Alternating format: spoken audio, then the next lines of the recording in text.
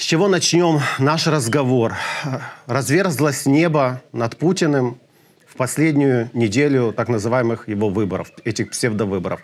Выяснилось, что небо еще дырявее, чем можно было себе представить, граница еще дырявее, чем можно было себе представить. И если так все пойдет в ближайшие дни, то, вы знаете, я сомневаюсь, доживет ли Путин до этих своих псевдовыборов. Мне кажется, еще пару таких ночей бурных, и его и Кондратий может хватить. Давайте начнем с рейда регио, э, легиона, батальона и что там у нас, и добровольческого корпуса сразу в два региона Российской Федерации. Я задаю вам общие вопросы, потому что, в общем-то, у вас тем точек для спора, наверное, мало, а вы отвечайте вот по степени готовности, возможности, можете друг друга дополнять, у нас открытый микрофон и живая беседа. Хорошо? Ну, как, как обычно. Значит, э, рейд уже несколько суток продолжается, похоже, что заканчиваться он пока не собирается. Как вам кажется, потенциально, понятно, что не идеологически, но потенциально он может нести большую угрозу для Путина и режима, чем бунт мятеж Пригожина? Аркадий, давайте с вас начнем. Ну, да, давайте я начну. Э, я бы сказал так. Эм, это операция, которую ведут э, вот эти российские, э, российские подразделения, которые с украинской территории, которые имеют отношение к ВСУ – это абсолютно ожидаемая э, операция. Э, я, честно говоря, думал, что начнется чуть раньше. Э, во-вторых, то, что происходит ночами и атаки беспилотников, это тоже ожидаемое. Прошу прощения. Я думаю, что еще Буданов и Генштаб Украины готовят еще различные сюрпризы. Скажем так, 15, 16 и 17 в три дня голосования, чтобы было интереснее проводить голосование в России. И поэтому э, это может, э, безусловно, повлиять. Понятно, что средства массовой информации будут э, либо замалчивать это, либо об этом не говорить, но многие люди в многих регионах могут это хорошо почувствовать на себе, что может и оказать какое-то влияние на сам процесс э, выборов. И будет ли другой результат? Конечно, будет результат, как они себе наметили и нарисовали, потому что это, это не настоящие выборы, а это такой полуспектакль, полужелание э, показать, что власть может себе позволить все, что она хочет. Э, это как бы лишняя проверка или очередная проверка административного ресурса, административного аппарата. Э, все должно быть, как определили, нарисовать вот эти цифры. И, в принципе, все идет по их плану. Но вот сможет ли это сорвать, как на те же Пригожин, это, конечно, другие пропорции – на мой взгляд, это не сможет э, сорвать. Но дай бог, чтобы это так получилось. Аббас, ваше мнение? Ну, пока в российских, э, в российском медийном пространстве э, доминирует ощущение, что эта, эта атака не была столь масштабной и столь эффективной, как какой была предыдущая атака. Тогда в мае ну, действительно, на несколько дней страна вот буквально встала на уши. Ну, то есть она была в шоке. А сейчас, э, ну, пока вот этого ощущения нет. Э, значит, сообщения, которые а, идут с российской стороны и со стороны легиона, ну, прямо, так сказать, диаметрально противоположны. Послушаешь россиян, значит, они давно уже всех там перебили, легионеров, и, значит, скоро Киев захватит послушаешь легионеров, э, значит, ну, они там без малого Белгород скоро возьмут. И поэтому а, вот э, пока ощущение ну, такого, мы понимаем, что происходит, его, его нет. Конечно, если возобладает э, вот ощущение, что атака успешно развивается, конечно, это ударит по, по Путину, потому что нет более яркого доказательства того, что война идет не по его плану, что война проигрывается, чем перенос боевых действий на территорию э, России. Да, но в силу того, что э, значит, это уже не первый раз такое происходит. В марте прошлого года было вторжение в Брянск. Э, после этого, как я сказал, в мае была атака э, в Белгородской области.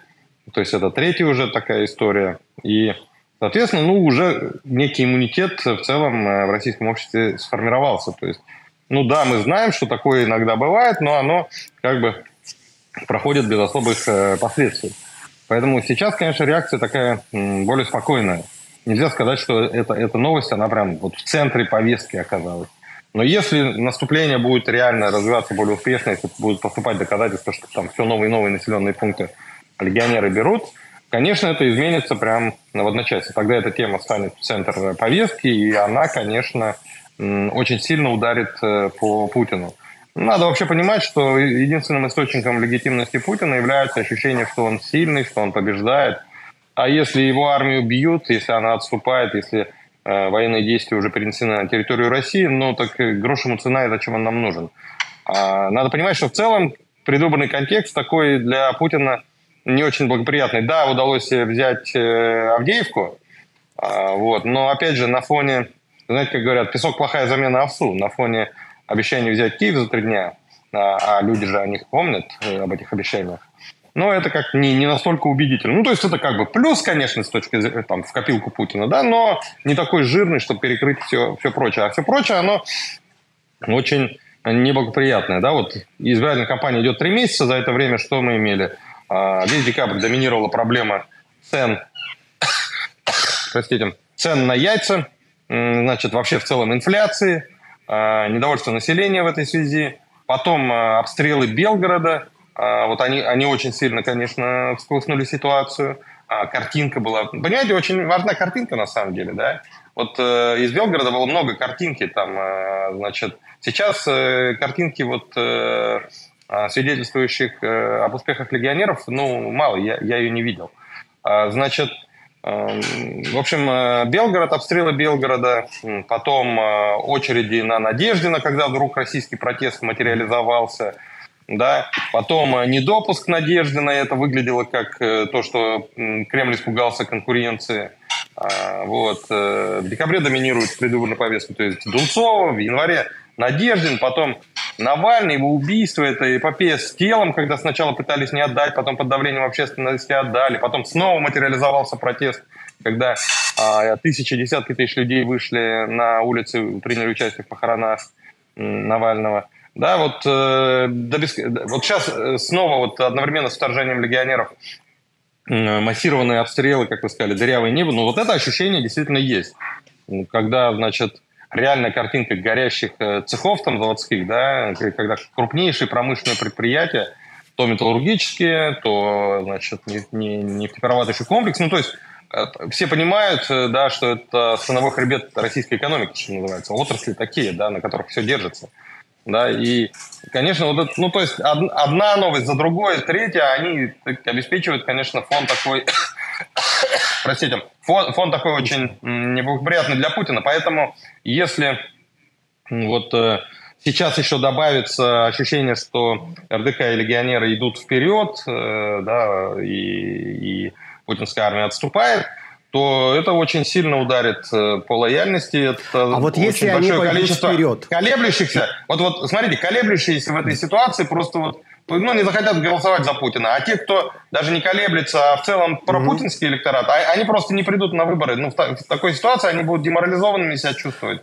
А, вот. Это, это влияние на выборы. Дома. Давайте поговорим о том, как это будет воспринято возможное продвижение вперед и усиление этой атаки на местных жителей. Будут ли они воспринимать этих парней как своих? Снова-таки не хочу сравнивать с преступником Пригожиным, но он шел под чепчики, которые воздух бросали. Помните? Тут очень, завис... очень многое зависит от того, как эти люди будут себя вести. Пригожинцы вели себя в Ростове в высшей степени корректно. И это, конечно, подкупило местную публику. Поэтому если там будут распространяться значит, э, слухи по региону, что, значит, там они мстят, там, да, там, не знаю, жгут, насилуют, грабят, убивают, ну, то, что россияне делали в Буче. Ну, тогда, конечно, будет негатив. Вот. Если же будет э, видно, что ну, это, это, это тоже русские, но это хорошие русские, да, в отличие от э, тех, которые там начали эту войну, плохие русские.